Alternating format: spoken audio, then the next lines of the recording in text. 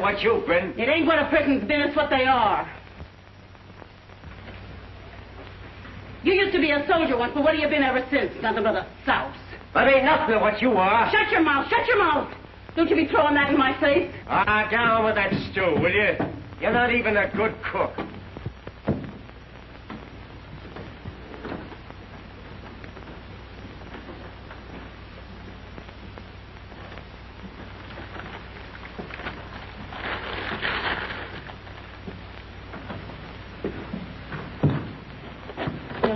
Frankie? Where did it come from, Mom? I got it for you at Victor Brothers. It almost fits. But why, Mom? Graduation. Oh, gee, thanks. The old man's housed again? Worse than ever. I get so worried sometimes I don't know how I spend it. Supper's on. I ain't blind. Shall we go down and eat, Pa? Well, where did you get the hat? Mom bought it for me. It's for graduation. Yeah, that's where he got it. I bought it for him. He don't have to graduate in no hat. We can't spare the money. Seems like we got money for liquor. Oh. It's all right, it's all right.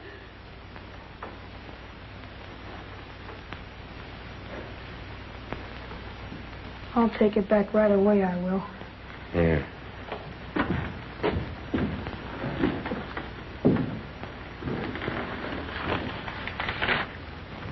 All right, Mom? Yeah, I'm all right.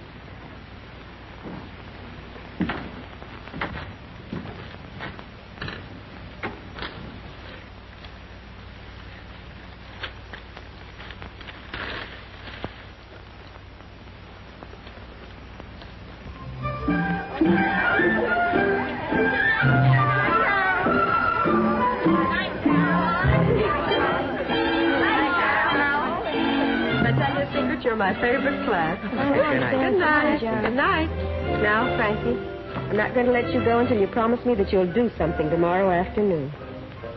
Well, after all, you don't graduate every day of your life, you know. It's an event. You'll do all right, Miss Williams, without me. And besides, I can't do anything like those others. Well, I don't care if you just stand up when I call on you. The important thing is that you must take your place with them. You're going to have to do it later with a great many other people. Good night, Miss Williams. Such a lovely time. Good night, Carol. And you make Frankie promise not to disappoint me. All right. Good night. Good night, Miss Williams. She's fine. Which way you going, Carol? Hmm? Come on. Not till you promise. Look here, I'm not going to promise you or anybody else anything. Especially when I can't do anything. You're not mad at me. Of course not. You like me, you stop? but I like you, Frankie. I gotta go home. Good night, Frankie. Good night.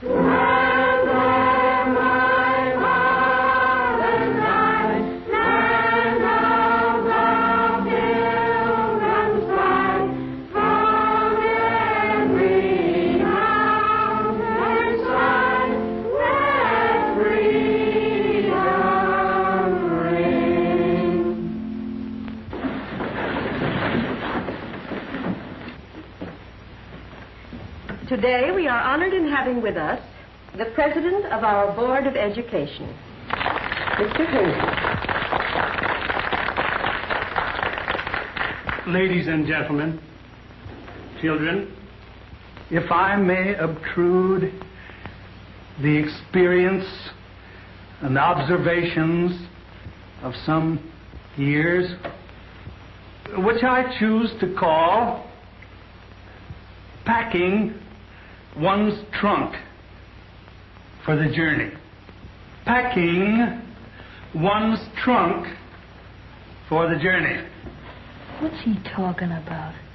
If into one's trunk one will put enough self discipline, strength of character, respect for law and order, then I assure you that each one of you shall find life a glorious and a happy adventure.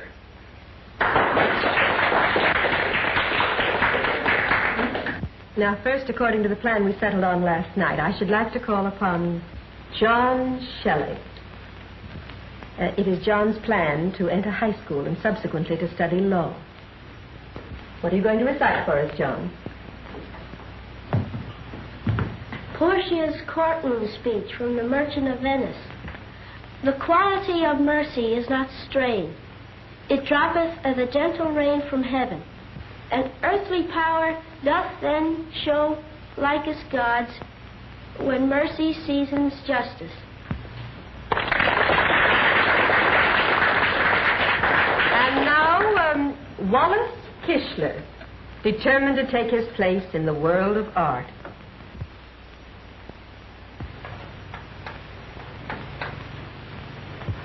Well, isn't that fine? Looks like we might go right into the Wednesday night service, doesn't it?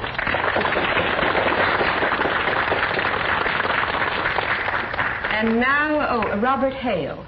Uh, Robert, after only brief study, has shown great promise in his chosen field music.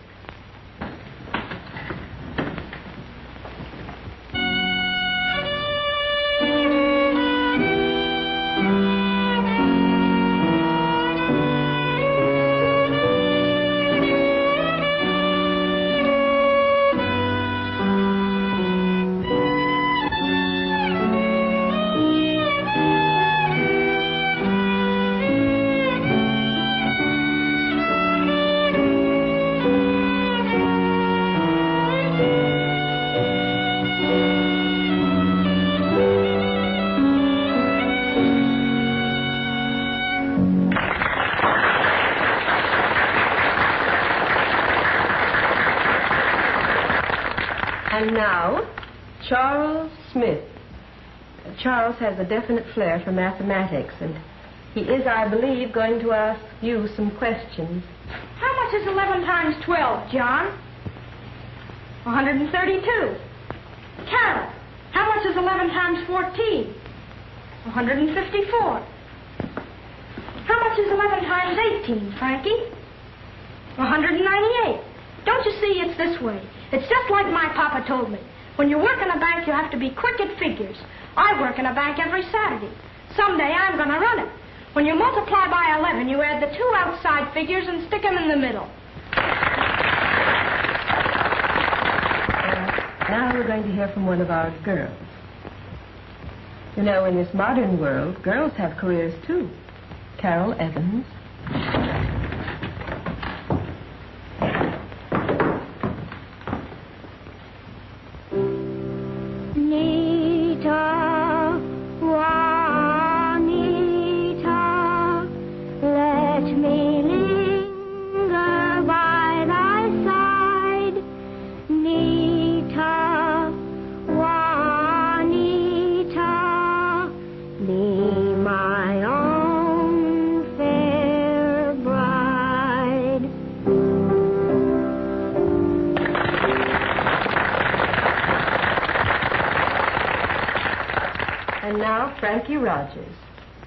Thought of something to do, Frankie?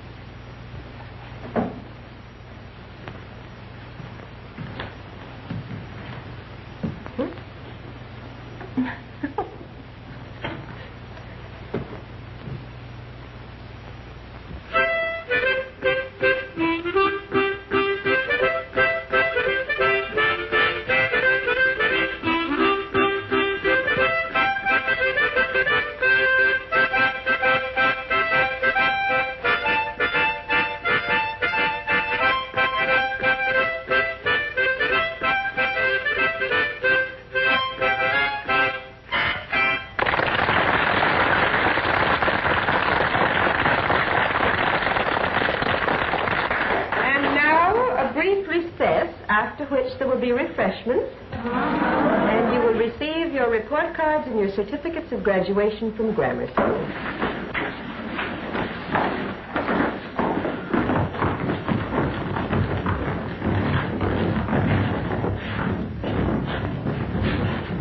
Frankie.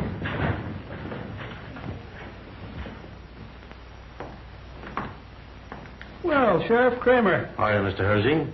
you should have been here sooner. Excellent entertainment. Excellent. Glad to see you, Sheriff. Ah, I do wish you'd seen the children. Frankie was fine today. You should have heard him play his harmonica. I didn't know you played the harmonica, Frankie. Do you? A little. well, won't you take a seat? no, thank you, Miss Williams. But after school, would you mind dropping in at my office? Why, I'd be glad to. And bring Frankie with you. Why, yes, of course. Thank you, Miss Williams. Where were you last night, Frankie? I was home. That's where I was. I was home, I was.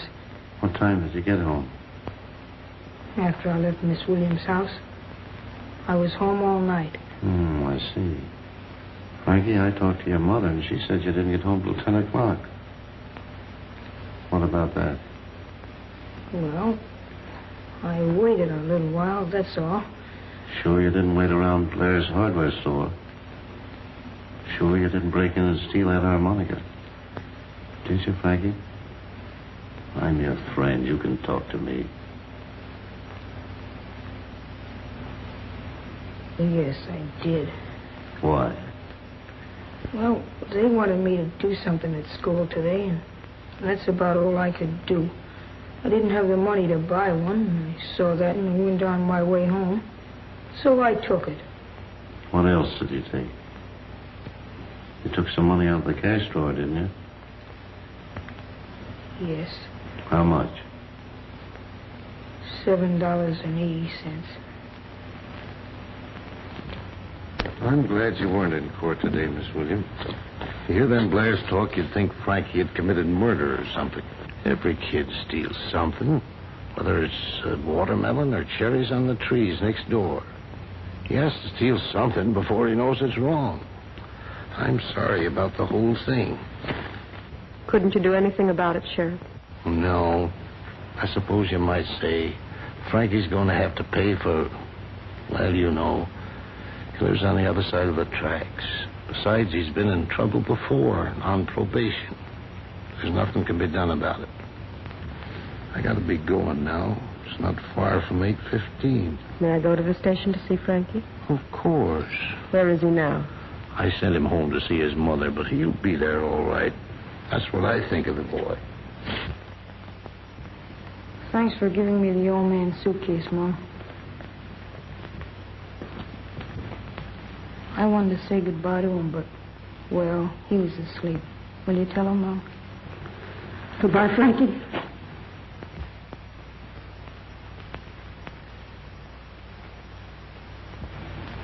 Gee, I never noticed how pretty these flowers looked before. Well, except that rose bush over there, kind of skinny, ain't it, Mom? Do something about that, will you, Mom? So.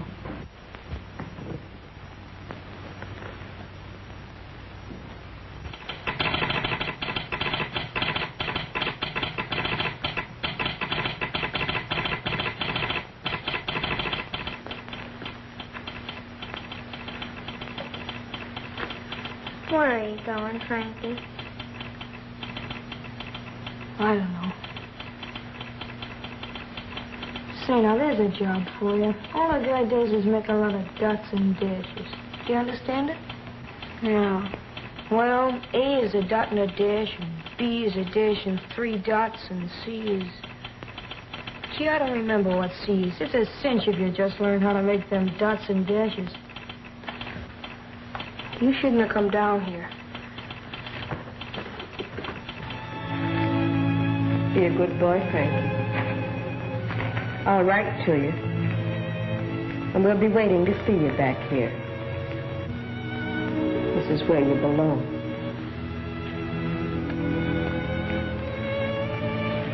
Oh, gee, thanks, Miss Williams. Then what you gloomy about? You know I never been on a train before?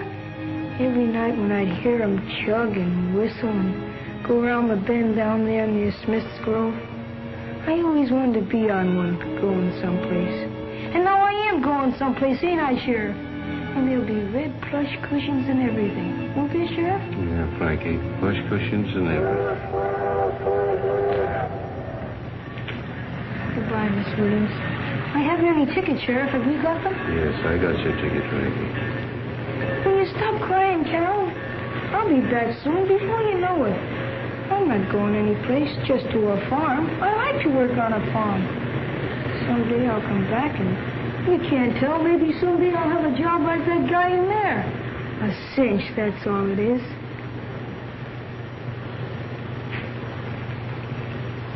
Just a lot of dots and dashes.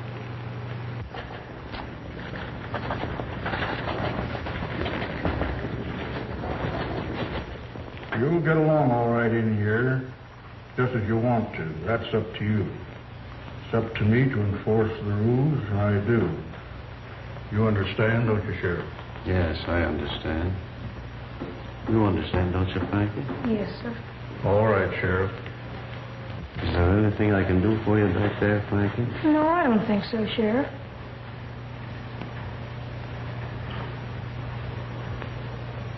Gee, this is a swell place, ain't it?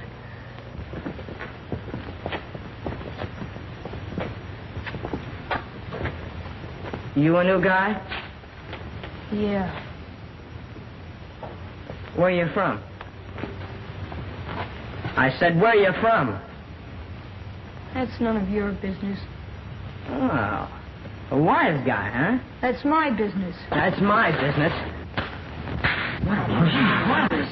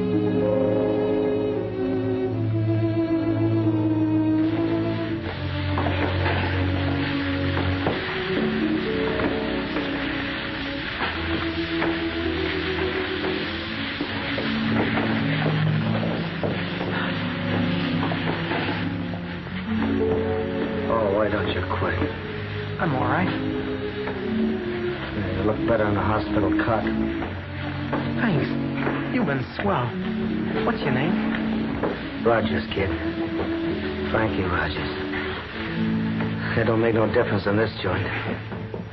Listen, you. You're no better than any of the rest of them prisoners. When I put you in charge, it was to keep order up there. Listen to them bums walking around. They're scrubbing. All right, see that they scrub. And see that they scrub in their bare feet. From now on, no one puts their shoes on till noon. How do you think I'm going to sleep? There'll be trouble. Yeah, who's going to make it? Anyone tries it, you beat them within an inch of their life. You're big enough. All right. All right, you mug. Get your shoes off. Get them off. And from now on, keep them off till after 12 o'clock. You get it? You? Come on, snap into it. Oh, come on, come on, come on. All right, you guys, get them off. Get your shoes off there. Wake up. Get them shoes off in there. Come on, stupid. Wake up. Get him off. Come on, get him off, mug.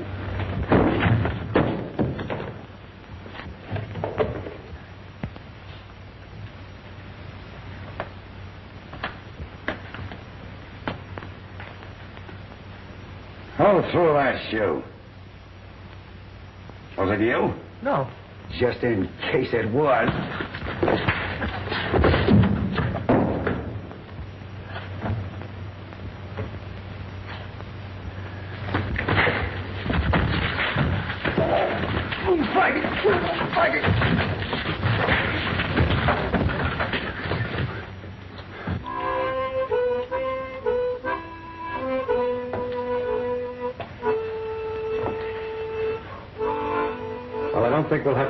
Much longer about you, Rogers.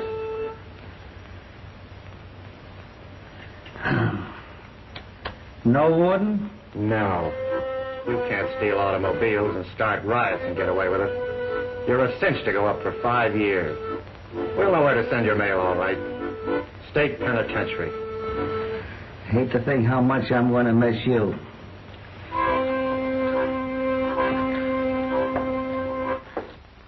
And therefore, I sentence you, Frank Rogers, to the state penitentiary for five years.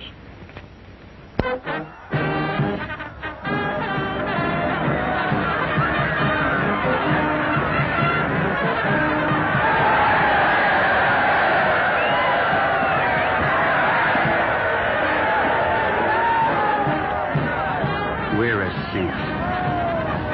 I ain't so sure. With Frankie pitching, why not? He's a loser. Ah, what do you mean? He's got a fireball he'd be throwing past him all afternoon.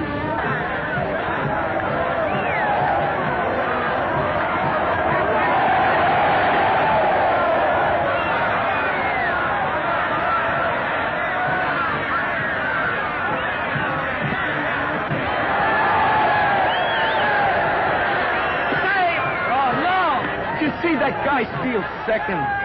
I didn't see nothing. I ain't no stew, I ain't. What do you want to steal things for? That's how I got in here. All right, Raoul! Frankie, let go! Come on, Frankie!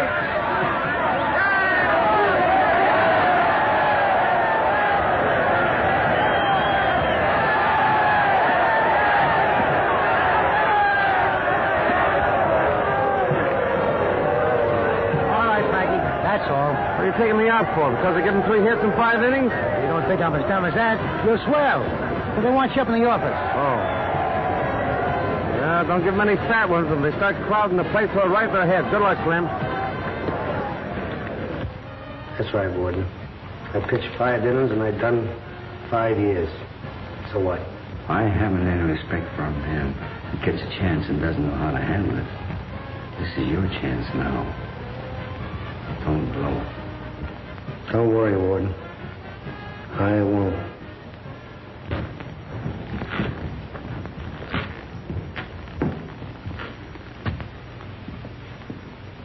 Get your sermon? Yeah. With or without music? Without. Well, we're leaving here tomorrow. We'll be long gone. Three weeks in Cleveland and we'll have a roll. I'm going to miss this joint. See you later. I'm going down and try on my suit. We've got ours all picked out. And yours won't fit any better. Yeah. Just three well dressed men leaving Stark. That's not what's going out. Just three suits of old clothes.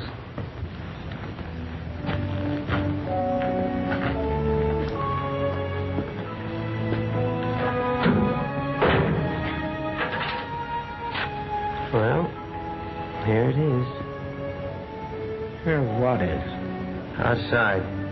Look at it. You know what? What'd you like to do? I want a steak. I'd like to see some gal. What'd you like, Frankie? I just want to get rid of this bundle. Some collar buttons, a old shirt, blazer. In five years.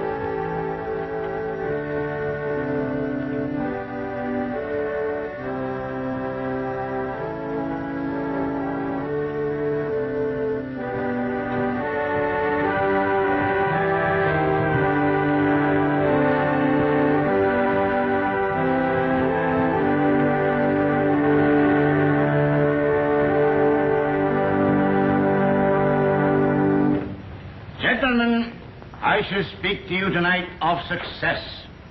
I have no patience with people who quarrel with their lot in life.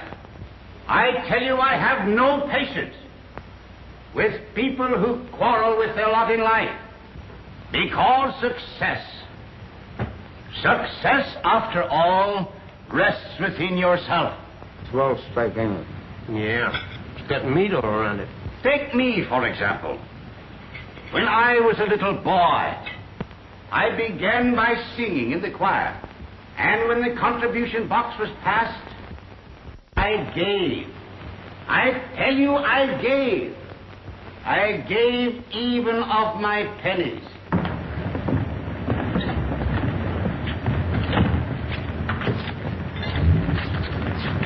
What are we going to do with the dishes? Say, if I had a gun and you'd throw 'em up in the air, I could knock 'em off like clay pigeons. Well, you haven't got any, Rod, and you ain't going to have one. Well, I'm not going to wash 'em. Nobody asked you to. Say, I got an idea. Hmm? There's a joint down here I used to sing in. I'd like to make 'em a present. They don't care if they're washed or not. Anyway, I'd like a drink. Yeah, sure do I. Okay, Frankie? Anything. I just got to keep moving. Oh,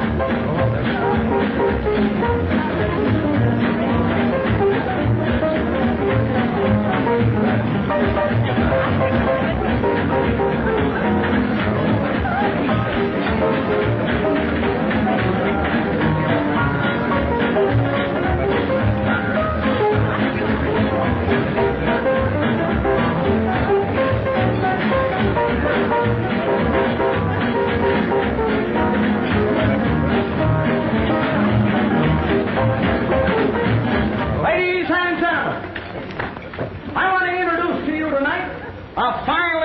who appeared here many years ago. He's been a guest star for the last few years. What I mean to say is, he's been a guest of the government. But you wouldn't understand about that. Now I'm going to ask him to sing one of the old songs that he used to sing for me before he asked for a raise in pay. Ladies and gentlemen, I take great pleasure in introducing that marvelous singer of old songs, accompanied by the Silver Slipper Singing Waiters, and I want you to give him a great big hand, Mr. Bert Gatto.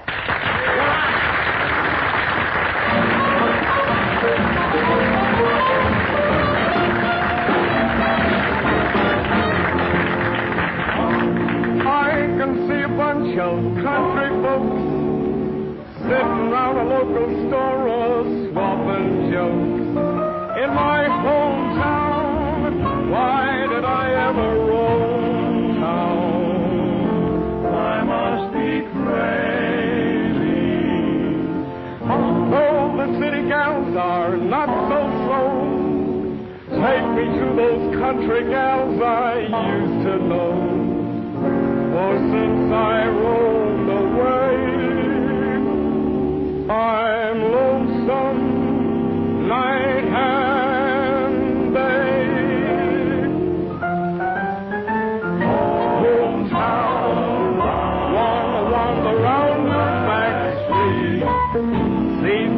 those tumble down old shack streets. I love to walk in on those cozy country cousins of mine.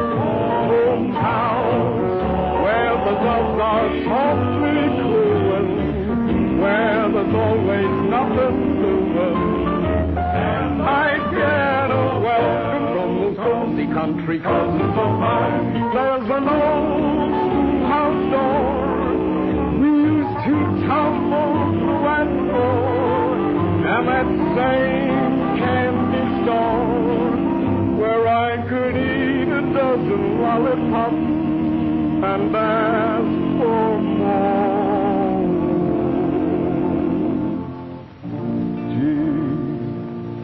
but I'd give the world to see that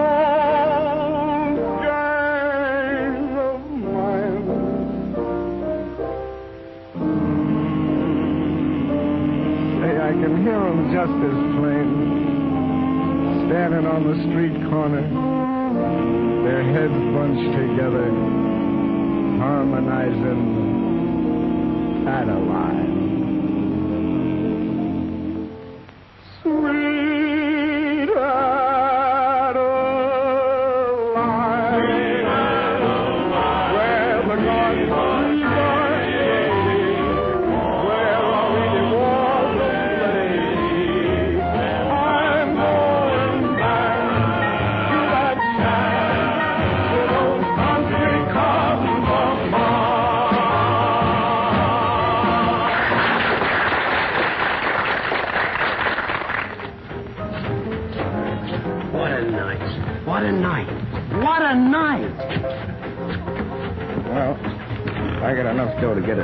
Us out of these clothes. A steak, a sermon, and Danes. Swell, wasn't it, Frankie? Yeah, steak was okay. Well, what do we do next? I'm going home. You guys want to come along, it's okay. If you don't, it's okay, too. Well, what can we get in a town like that? Just a lot of fresh air. If you think you can stand it. Morning, Mr. Williams. Yeah, good morning, Albert. Yeah, that's the mail this morning. What's the idea? Ain't the first of the month, is it? Well, thank you. Oh, that is a lot, isn't it? Yeah, but that ain't all. Will you hold that for me a minute, please? Oh, I am a bother this morning. You must be all worn out. No, no, I'm used to it. Been doing it for 30 years. Be retiring soon. And on a pension, too. And I can go a fishing whenever I like. And no more work. Just fishing. Why, Albert, this town wouldn't be the same without you bringing the mail around every day. I don't believe you'd be happy if you couldn't. I don't know what I'd do if they stopped me from teaching school. Well, all the way you look at it, I suppose. But I'm getting old. Well, so am I. You know why I got so much mail today? It's my birthday. Well, I'll be darned. I hope it's all right. Happy one, Miss Williams. Albert!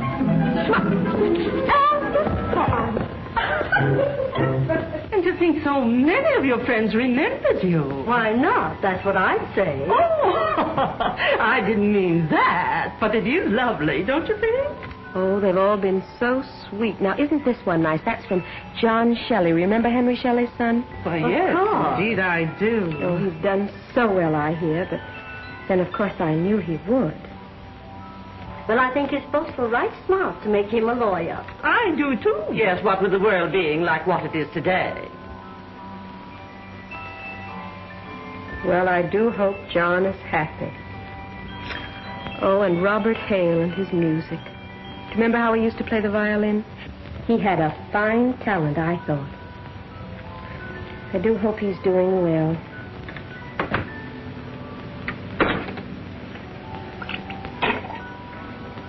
This one's from Wallace Kishler. Hmm, He says he painted that himself. It's all in watercolors. Sort of shows his early promise. Yes, I suppose Wallace is a big artist now.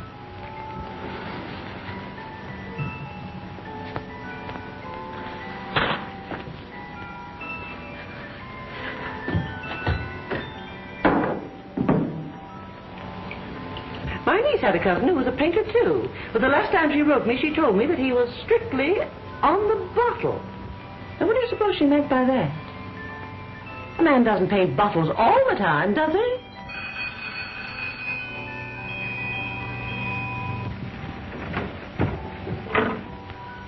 Hello? Oh, hello, Charlie. I just wanted to wish you many happy returns, Miss Williams. Yes, I'm sorry I couldn't get over to see you. But you know, I just can't help being sentimental when it comes to birthdays, especially concerning my teacher. Oh, well, it was awfully nice of you to remember. Goodbye. Oh, that was Charlie Smith. He's the only one of that class, I believe, who's still in town. Well, I don't blame him being in charge of his father's bank and all. Carol Evans. Carol Evans, who is she? Don't you remember? Well, she used to live next door to the Neelys on Elm Street. I believe she's a big actress now. Birds have their nest, stars have their sky. I'm just a wanderer, no friend have I.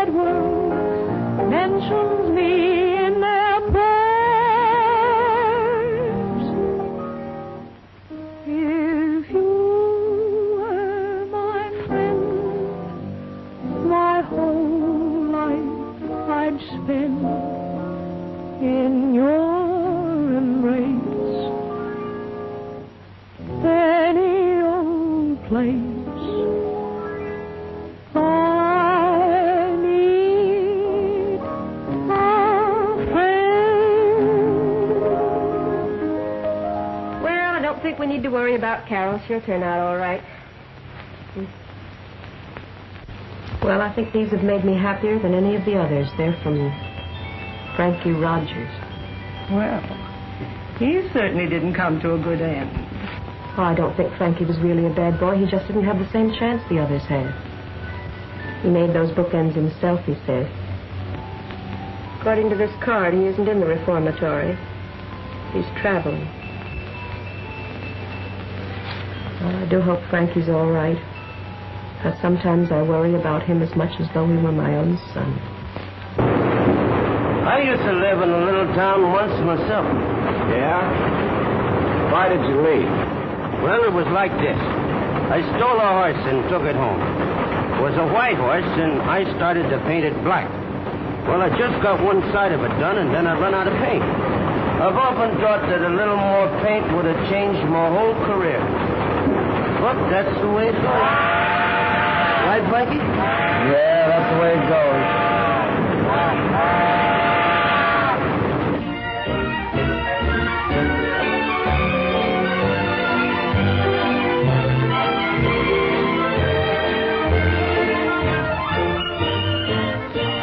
Where'd you pick up this rod? In that honky tonk. I had to take something, and there was no toothbrushes around.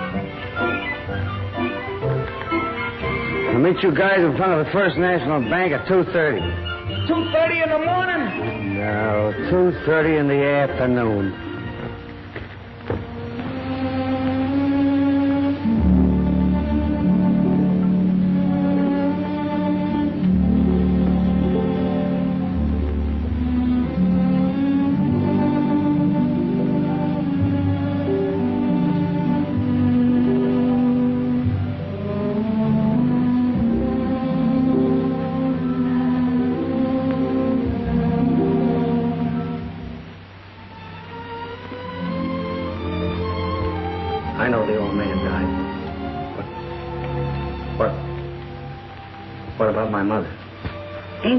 Tell you, Mr. Frankie.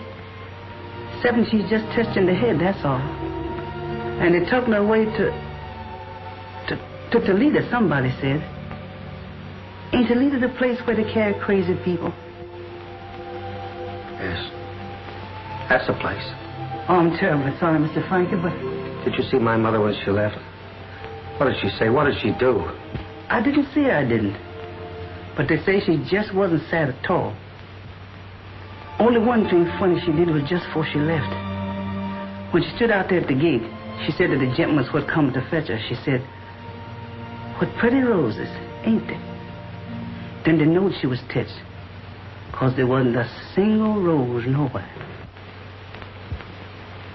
Anything else?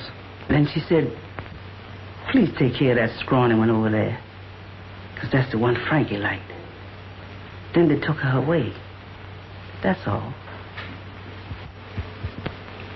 You've been here long?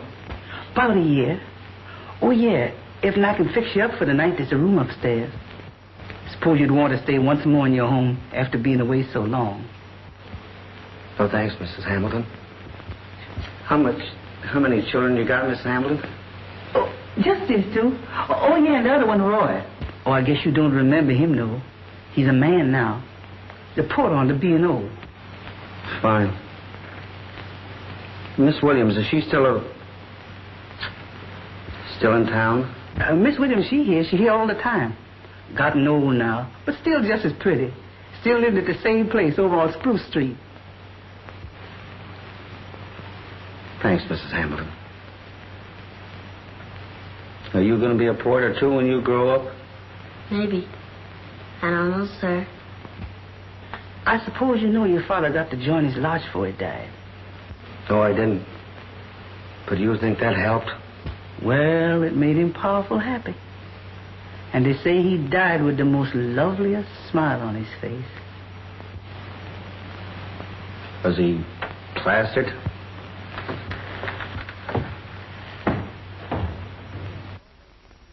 You mean to say, Miss Williams, after all them years you worked for him, they give you the gate? I don't understand you, Frankie. I think you should say, after all those years, they gave you the gate. But I still don't understand because they didn't give me any gate. Sorry, Miss Williams. You mean to say they put the slug on you? What I'm trying to say is, you ain't got no job no more? Is that it? That's right. Only, don't you think you ought to say you no longer have a position? Hmm? That's all I want to know. Who's running the joint? I beg your pardon? Who's the boss, the big guy, the head man? Well, you certainly speak strangely, Frankie, but I think I'm beginning to understand you. Charlie Smith is the president of our Board of Education. He runs the bank now, you know. You remember him? Yeah, I remember him. That fresh little. Sorry. The fresh little guy that was so smart at figures? That's he. Oh, he's done so well. He's down at his bank now. I'm sure he'd be very glad to see you. That's fine. I'll be glad to see him, too. He said he'd be here at 2.30. What time is it now? 2.38 and a half, if this thing's on the level. Where'd you get that watch? Oh, I just picked it up. How? One of the local boys was eating a sack of popcorn. But he won't miss it. What does a guy want with a watch in this town anyway? Wait here. Some people say bankers are hard, that they have no sentiment. But I tell you here and now, I will not see that little schoolhouse destroyed, not for all the money in the world. Yes? Uh, Mr. Frankie Rogers to see you, Mr. Smith. What do you think of that? Show him in. Will you gentlemen excuse me, please? Certainly, Charlie. Of course, Charlie. Well, well, Frankie. How are you? This is a funny one. I was just talking about you. Was you, Charlie? Now, let's see how you look. You haven't changed much. I suppose you might say that comes from living right, eh, Frankie? Yes, you might say. Nice place you got here. Why, you haven't seen a thing. Sit down, sit down. Oh, thanks. I don't want to waste your time. No, no, at least you'll let me show you through the bank. Now, here's a little idea of my own. Take a look at this burglar alarm. If anybody just walks in front of that at night, goes off. Sort of a radio beam arrangement. Not a chance for anybody to get away with a thing. That's it. Now, this safe is the very last word. I can hardly get in there myself. Are you insured, Charlie? Yes, yes, everything insured, everything in apple pie order. What do you want to do, Frankie? Do you want a job? I can't fix you up here, but I understand the chain works is opening up soon. Mr. Hamilton? Yes, the town certainly is booming. How about Miss Williams? Oh, she's fine. What do you mean? Well, don't you think it'd be a good idea if you put her back to work? Well, she has her pension. After all, she's done her service now. She should have a rest. This new school building takes care of 500 kids. What we need is youth in our teaching staff. Don't you worry about Miss Williams, Frankie. We'll take care of her, all right. Yeah. She'll sit in that little old house and wither and die, thinking about you and me and the rest of the kids. How about putting her back to work, Charlie? I'll take it up at the next board meeting, Frankie. And I want to thank you for coming in. You going to be in town long? I don't think so. Do you need any money? No, thanks. Do what you can for, her, will you? I will, Frankie. I certainly will. And you've given me an idea. Okay.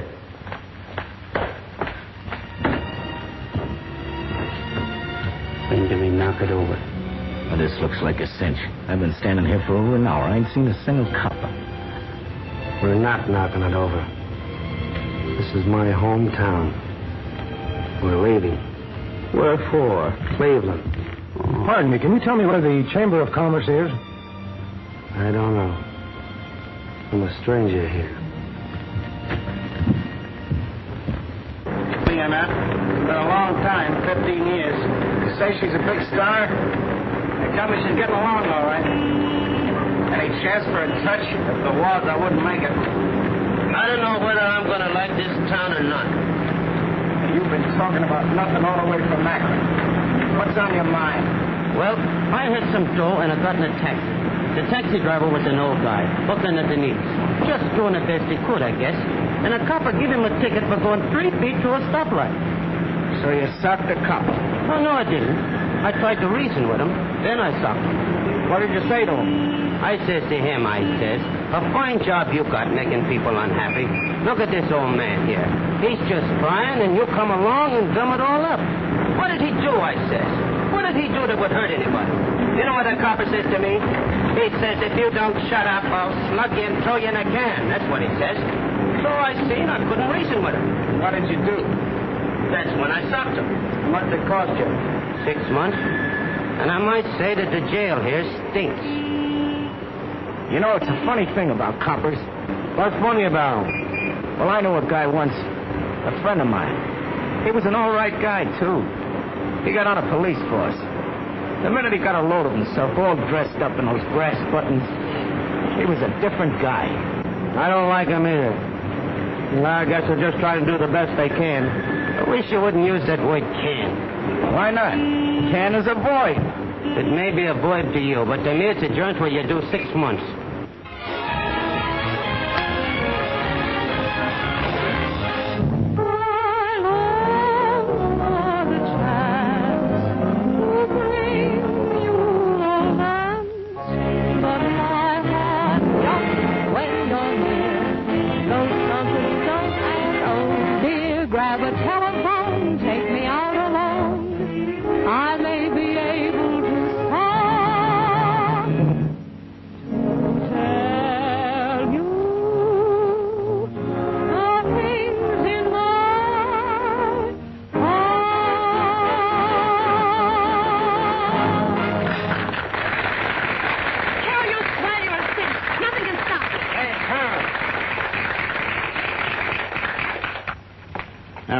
But you gotta get out of that dress and get out of it right away. You didn't like it? Sure, I liked it, but the dame just come to. Somebody hit her with a cold towel or something. Yeah, they should have slipped her a Mickey. Some other time, Carol.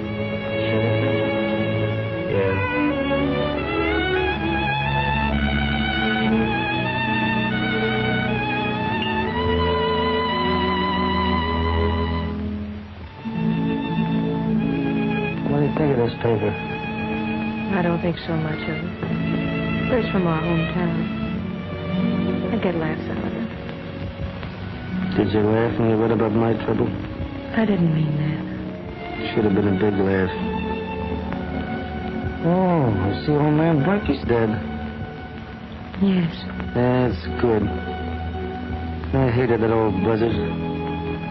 Beat me up was a kid because my dog licked his dog. Was just a punk. I like that. You mustn't hate anybody, Frank. It's no good. Okay, I won't. You say so. If he was no good when he was alive, I don't see that dying makes him any better. What time is it? Twelve thirty. Oh, I'm going.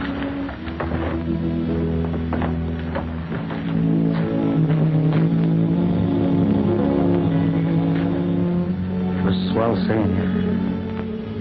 When will I see you again? I don't know. What are you going to do? I don't know. I do. You're going to stay here. You're going to get a job. Why?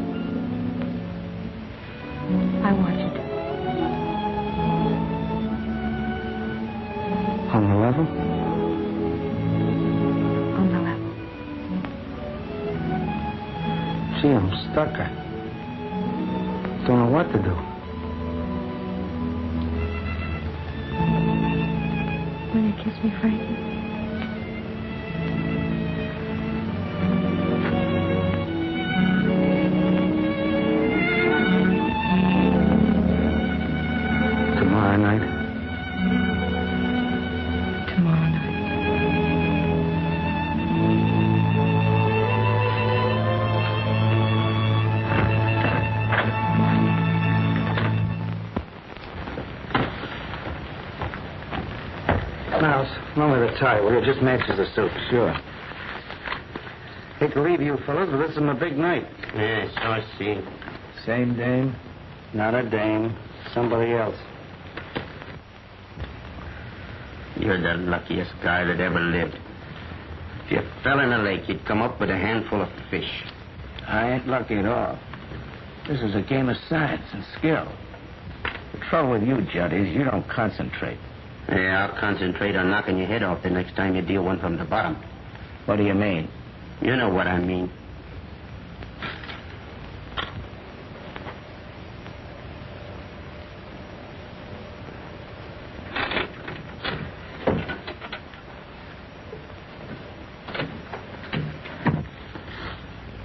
What do you got? I got one, two, three, four aces. Maybe you got four aces, but that ain't the hand I dealt you. What do you mean? You know what I mean. I think you're being very unethical. Explain them words. I think you're a crook. And what are you? I'm just a victim of society, that's what I am. Yeah, and you're a crook, too. Then we're a couple of crooks, is that it? Yeah, that's it. Oh, you want to fight, huh? Wait a minute, wait a minute. What goes on here? Cut it out. Stop it. Ah, you little... Why, I'll break him in two. Oh, I'm sorry, Frankie. I'm sorry, too. It's okay. Ah, you throw one at me and you hit Frankie. That's how good you are. Cut it out. Cut it out. You ain't gonna get nowhere fighting like that. Win or lose, we gotta stick together. Come on, shake hands. Boy, I wish I had a hunk of beefsteak.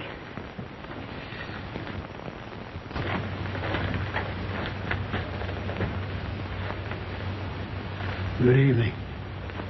Yeah. I'm Mr. Hicks, the manager. I'd like to speak to you about your bill. We've only been here three days. But you have no baggage. Chill a beat, will you fellas? See you later. Come in, Mr. Hicks. Yeah. Yeah, come in. Uh, have a chair. Some discussion about the bill? Yes, there is. Well, sit down there. um, do you ever play uh, cards?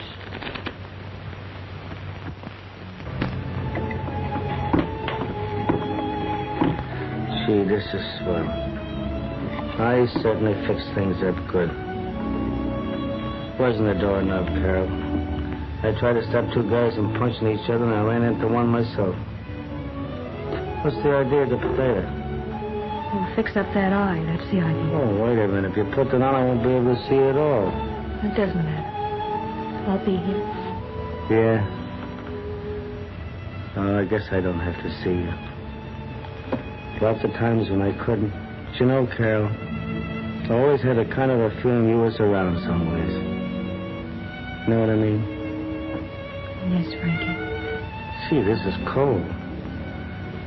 Where'd you learn these things? It's nothing. I was going to take you out tonight and have some fun. Here we are, just you and me and a sliced potato.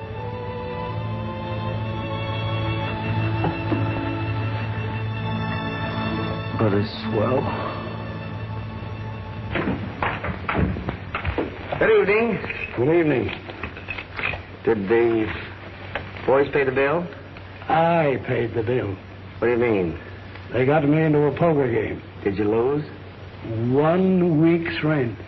That's fine. Yes. That's fine. Don't worry. I'll give you a chance to get it back. Good night. Good night.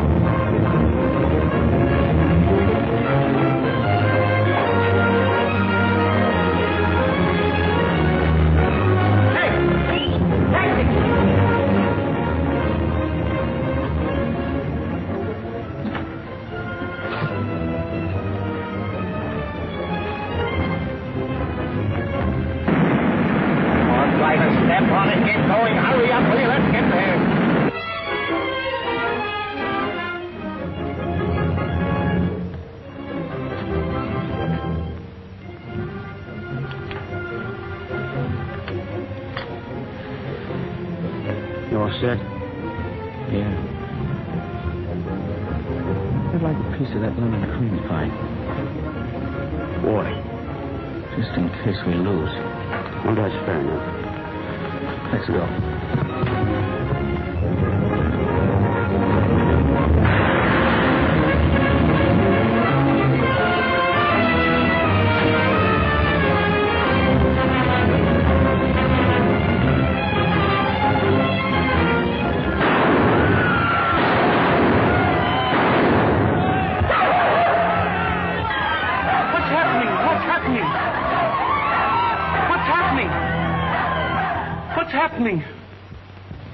Good news?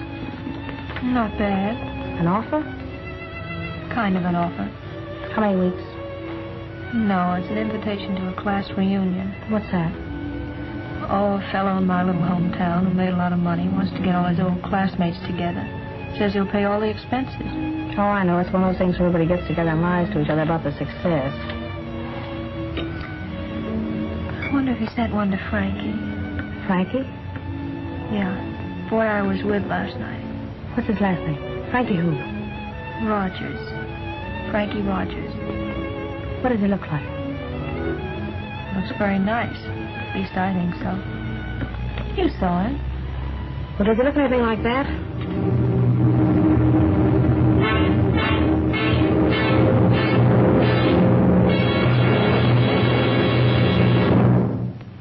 That's what I did, and that's what happened. I didn't kill the guy, and that's the truth. And that's just what they won't believe. But I'll tell them. You won't tell them anything. I don't want you to. I don't want you to come to see me no more. But why? Because you can't help me and you can hurt yourself. Can't you see that?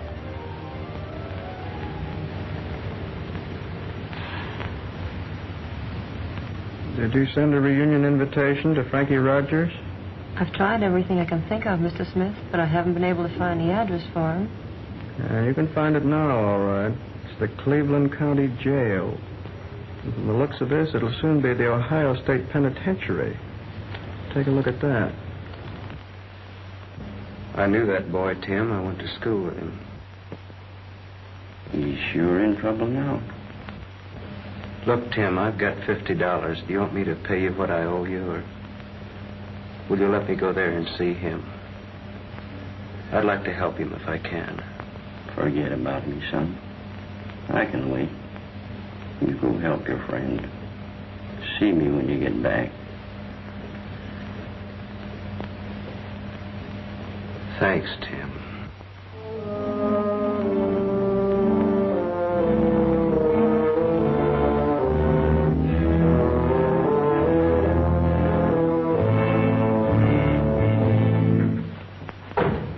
Frankie.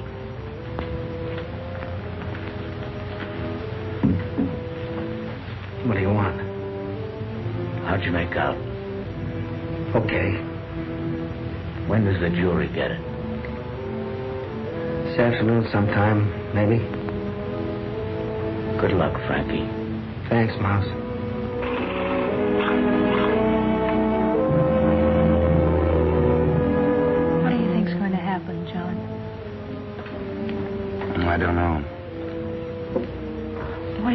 Are you going to say this afternoon? I don't know, Carol. Maybe I shouldn't have taken this case. After all, it's Frankie's life I've got in my hands. I've never been a trial lawyer. What does that mean, John? Well, out there in Illinois, I just fuss around trying to sell insurance and do a little work on mortgages and leases at times. Scared stiff. Ladies and gentlemen of the jury, until a moment ago, I had no idea what I could say to you. The defendant himself has suggested a plan, and it's this very fact which allows me to throw him so confidently on your mercy. I've known the defendant since we were children. I remember one afternoon, Frankie helped me take a, a fish hook out of my finger. I know that nothing ever happened to help that boy. But I've never heard him complain. In fact, even now, when he sits before you all but condemned, not by you, but by the forces which inevitably brought him here, he has no complaint to make. It's not of himself, but of me that he's thinking. He asks me to bring glory on myself, not mercy for himself. I tell you, there is much to be honored in such a man. If we could take that which is so fine in him and build on it, we could well be proud. Well, what are we to achieve with destruction? Would that make the world a better place then? Why can't we begin here and now the very process which would eliminate these cruel moments from life? Why can't we give him aid rather than unfeeling censure? Don't you see the, the defendant himself has shown us the way? John, you were swell. Your Honor, Mr. Foreman, and ladies and gentlemen of the jury. In all of my experience as an attorney and as a prosecutor, I've never seen a more straightforward case. Let me sum it up for you once more. Three known criminals went into a respectable place of business, armed, prepared to commit murder, and with the intention of robbery. The proprietor, a law abiding citizen of this community, attempted to save his property. And he was mercilessly killed. The defendant, Frankie Rogers, out of the state penitentiary but a short time, fired the shot in cold blood. I needn't call Rogers a fiend or a foul blot on humanity or use any other dramatic terms. The truth is obvious. But Rogers is prepared to commit murder again, and you are in duty bound to prevent this, and that's why the state demands that you return a verdict of guilty and also demands the death penalty.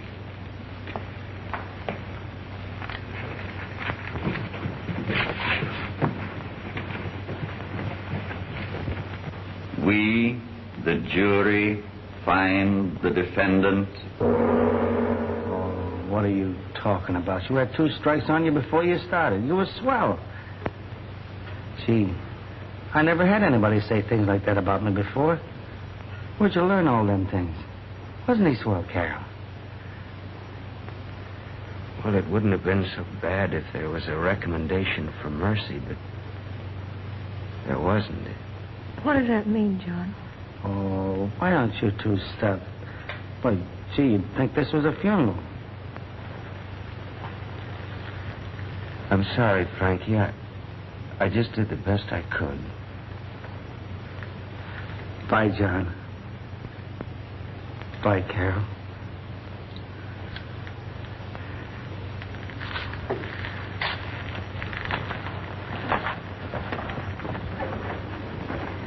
What are we going to do now, John? I don't know, Carol. I'd thought that on my way back to Illinois, I might stop by St. Mary's for that that reunion, but not now. No.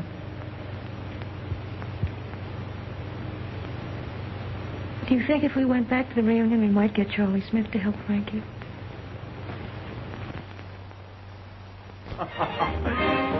Artist, eh, Wallace? Barring the pictures. Well, I never went in much for that art stuff myself. Mrs. Smith selected all these. Charles is clever. Don't you think it was smart of him to bring you all here? No, I think it was a very nice sentiment. Thank you. Of course, there's the publicity. Well, did you see many of your old friends? Yeah. Walked around this afternoon. Saw Harry Tobin. Hardly knew him. And I saw Tom Bothwell. he didn't look any too good either. And I stopped into the new pool room downtown, and there wasn't a soul in the place that I knew. I don't know. Coming back to a little town is not so good, I guess, after a long time. You just seem to see the years sit down on them.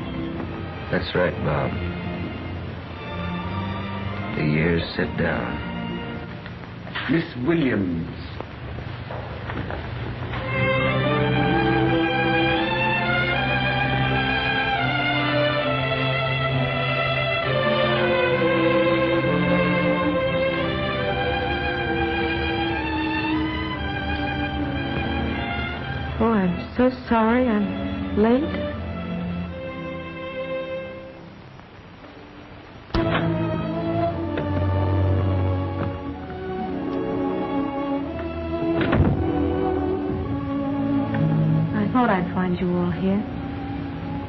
Party's a bust. Yeah, Carol. We were just talking about it. What do you think is wrong? We all know what's wrong. It's Frankie. What can we do, John? Anything? I don't think so. They denied the appeal. Well, do you think we could get Charlie to help him? Now, Carol and I talked to him. I don't think he could help anyway. It's too late. Yeah, how about some chow? Some supper, my friend. This is your last meal, Rogers. What do you want? What do you mean? A slug of booze, or anything you want. Sure. Get me a big hooker of whiskey and drink it yourself. Okay. Hiya, Mouse. Okay, Frankie. Well, took us a long time to get here, but here we are. Yeah. Not far from heaven. I'm a lot further from heaven than you think.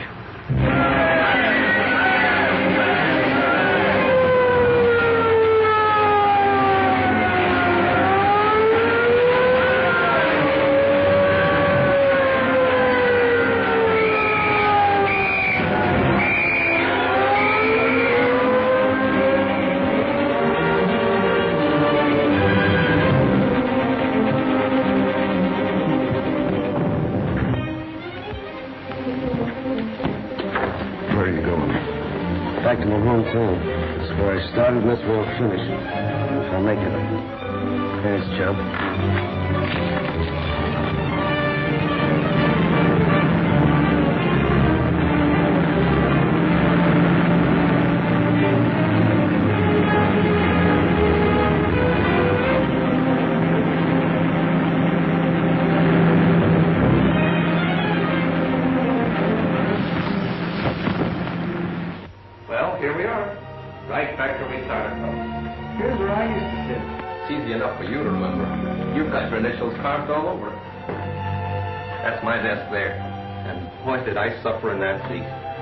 Miss Williams used to ask the darndest questions.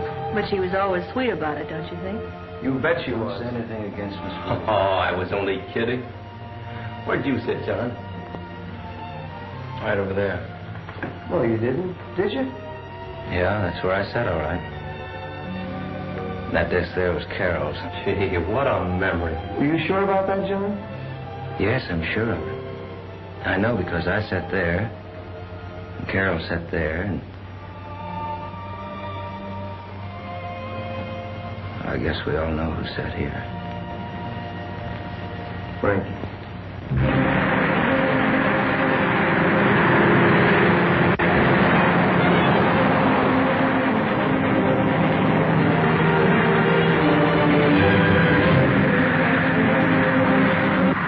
Well, hello, hello. How's everybody today? Hello, Carol. Hello, John. Wallace. Bob, had a good sleep? Fine, thanks. Uh, that's fine. Carol, I got something for you. There you are. Got one for each one of you. Bob, Thanks, John. Wallace, and John. Now, you're all members of the committee. you know, I'd have been here sooner, but I had a little business at the bank. You know how those things go. George, you needn't wait any longer. We can take care of ourselves. Everything all set? That's fine. How does the old place look? Not much change, eh? Well, I want you all to take a good look at it. We're tearing it down next week. We just can't keep it any longer. Too much development, real estate. Miss Williams hasn't shown up yet, eh? No, Charlie, no, Miss Williams isn't here yet. Well, there's it for her. Well, she'll be along soon, and I'll bet you I can tell you the very first thing she does. What? Well, what did we always used to do Friday afternoon, the first thing? you see, I got you stuck already. We sang, right? Yes, that's right. no, I think we ought to have a little drink. What do you say we have one while we're waiting for Miss Williams? Yes, just a few refreshments I arranged. Don't think this is lemonade either. I had George put plenty of my best stuff in this. Now, you see out there where the duck pond is now, we're going to build a swell golf course. Plans all drawn up and everything. So, the way things turn out, there just isn't room for our little schoolhouse anymore. But, as you might say, that's life. Right, Carol? Yes, Charlie. That's life, I guess. Bob? Thanks, Charlie. Lois? And John. Thank you, Charlie. Al, how about a little toast befitting the occasion? Carol, you seem very quiet. Will you make it? Here's to Frankie.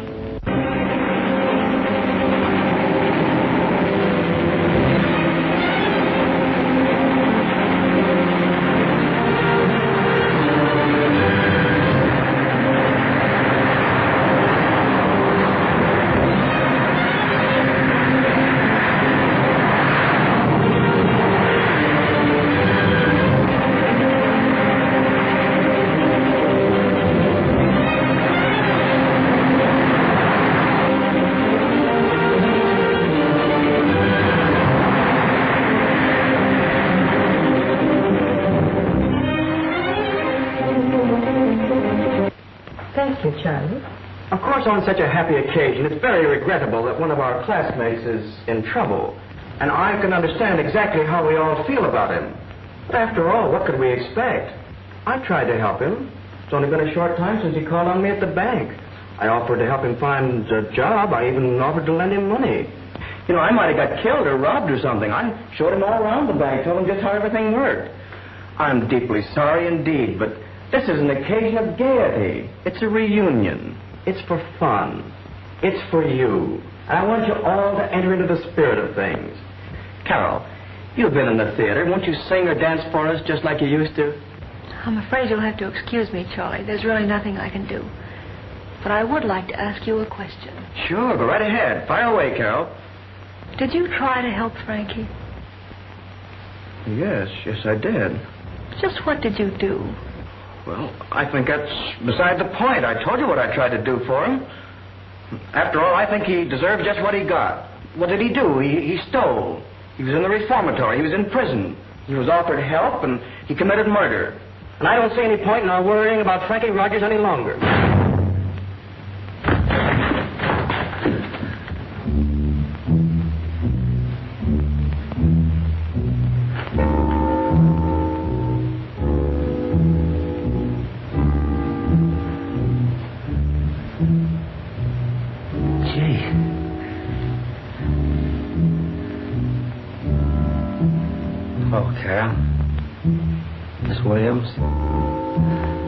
Charlie. And Bob. Keesler.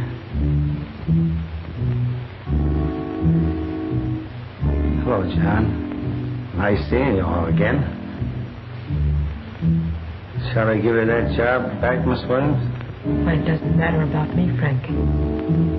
How did you manage to come here? I guess you're all right in a little trouble. Them guys in there ain't a bad bunch. Told them all about this little party you was giving. They let me come down for a little while.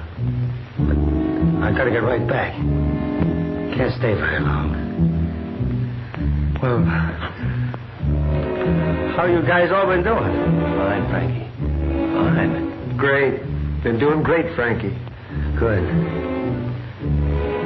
Uh, I guess I don't have to ask how you've been doing, Charlie. Yes, Frankie, yes. Sorry you can't stay. Before I go, I want you to know what I saw pal John with. They come all the way from Illinois just to help me beat a rap. But no soap. Wasn't John's fault. Made a swell speech, too. Same speech you made here one afternoon. That was a long time ago. Told you, sir. Ain't much more to say. It's nice seeing all of you, and I wish you all a lot of luck. Where are you going? I don't know. Thanks for coming along, Frankie. We know you can't stay, so we won't keep you. But we know how it is. Yes, we know how it is.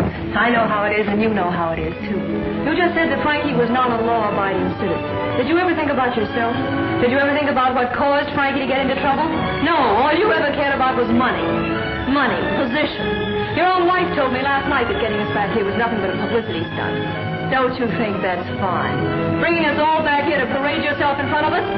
You know we never made a dime, you know we're all broke. And that wouldn't be so bad, but it's the way you look. Carol, you mustn't. What did you ever do for him? What did any of the rest of us ever do for him? I'll tell you what we did. Nothing. And I'll tell you something else. I hate what you stand for, and I hate you. No, no, no, Carol, no, you're wrong. You mustn't hate anybody. That ain't right. That ain't no good, remember? I used to hate people too, but that's easy, but it ain't right. I know the guy in the cell used to beat me over the head with a rubber hose. I hated him. One day I saw him going after a guy that was making a break to fill him full of lead. He dropped right on my feet. When I saw the look in that guy's eyes, it took all the hate out of me forever. I went to get him a tin cup full of water, but he never lived to drink it. When he come back, he was dead. Come on, Carol. Charlie's all right. We're all all right. I'm glad to see you all doing so well. I know you all done the best you could. Maybe I did too. I don't know. I gotta go. Come on, Carol. Tell Charlie you're sorry. If you don't, I ain't never gonna be happy no more. I'm sorry. That's swell, Carol.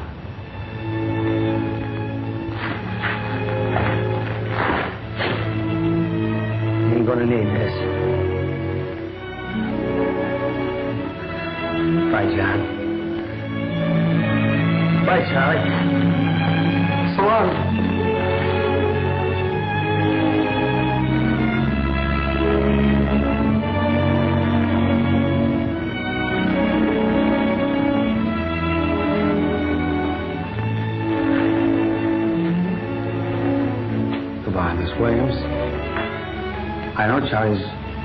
That job back for you.